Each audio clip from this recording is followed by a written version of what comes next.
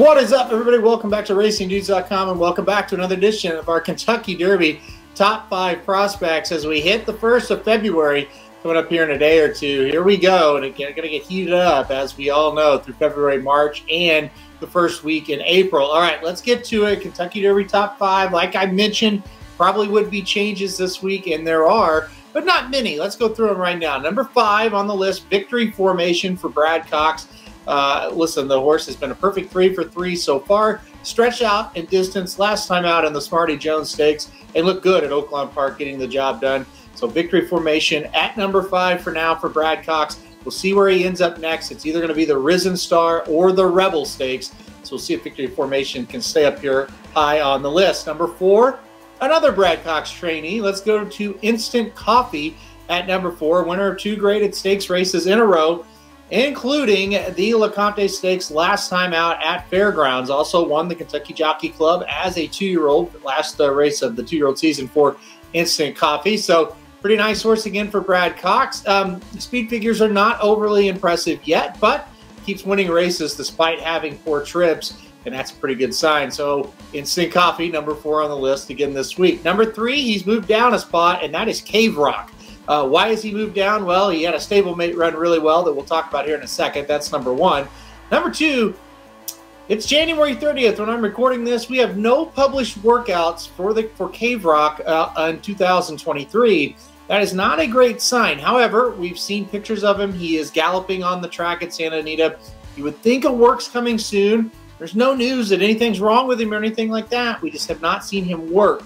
Hopefully, we see him work this weekend or at least this week, I should say. And if we do, no big deal. But it's a little concerning. We have not seen a work back from Cave Rock. Of course, he was second in the Breeders' Cup Juvenile uh, last November at Keeneland. So we'll see if he can rebound from his first ever defeat uh, in 2023. All right, number two, I mentioned a stablemate to Arabia or to uh, Cave Rock, and that is Arabian Knight, and he's number two on the list this week. He was number three last week, moved him up to number two after a dominant win in the Southwest Stakes at Oaklawn Park. He took him gate to wire. He took it to him early, got right out in front, and just kind of ran him into submission. So Arabian Knight number two for me.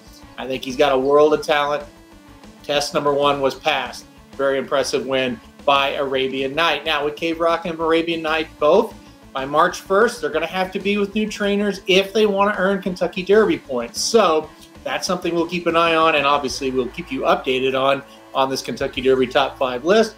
But as of now, they're both with Bob Baffert, and they both, uh, well, at least Arabian Knight looks very, very good in 2023. A very nice performance at Oaklawn Park. And finally, number one, and I'll keep him number one.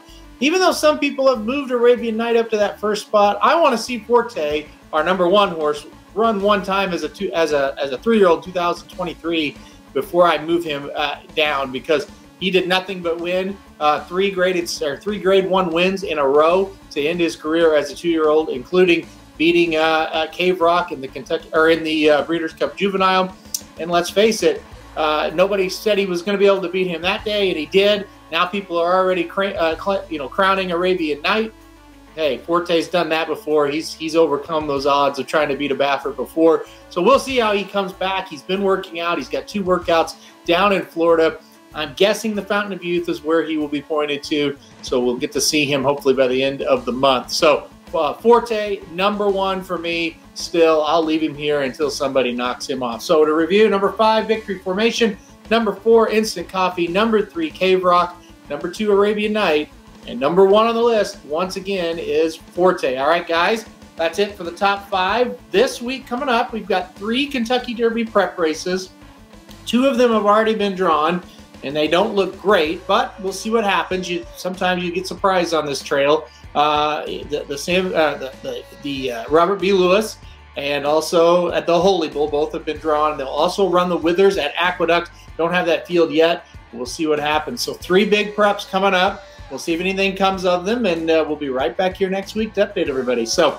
Hit like if you like the video, hit subscribe if you really like it. Want to get alerted anytime we do Kentucky Derby updates or anything for that matter.